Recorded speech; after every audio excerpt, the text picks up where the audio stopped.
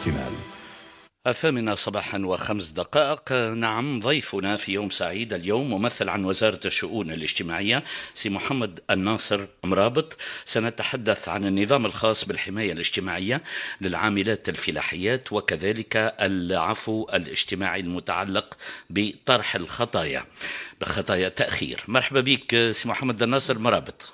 بك أكثر وشكرا على الاستضافة سي الحبيب ومرحبا بكل مستمعي الإذاعة الوطنية. نعم شكرا لك على الحضور وشكرا كذلك السيد الوزير سي عصام الأحمر اللي آه، يعني كنت بحذاه في المكتب نتاعه في الوزارة في بابنات وتحدثنا طويلا حول هذا النظام الخاص بالحماية الاجتماعية للعاملات الفلاحيات. يعني باختصار آه، قبل أن نمر إلى الأغنية ثم بطبيعة الحال نعود بتفاصيل. شنو هو النظام الخاص هذا؟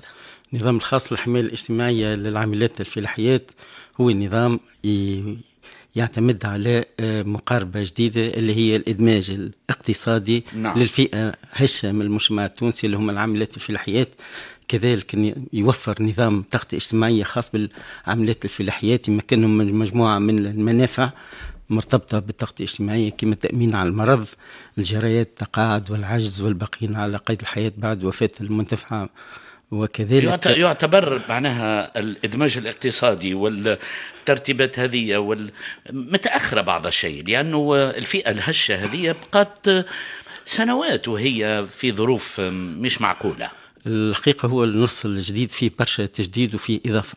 أي. والجزء الأول من نص القانون يعتمد على الإدماج الاقتصادي. الإجماد الاقتصادي الفكرة الأساسية متاعه شنو؟ هو تحسين القدرات متاع النساء هذوما. جعل النساء هذوما عندهم مبادرة تنمية روح المبادرة في النساء.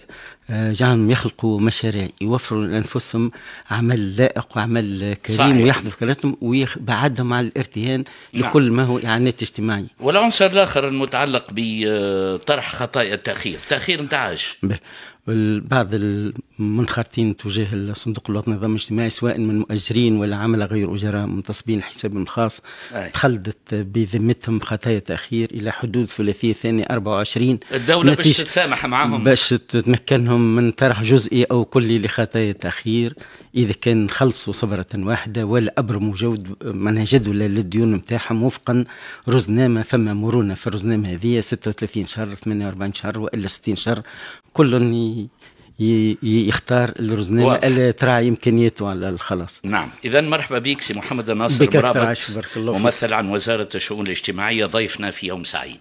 تعلق قلبي طفله عربيه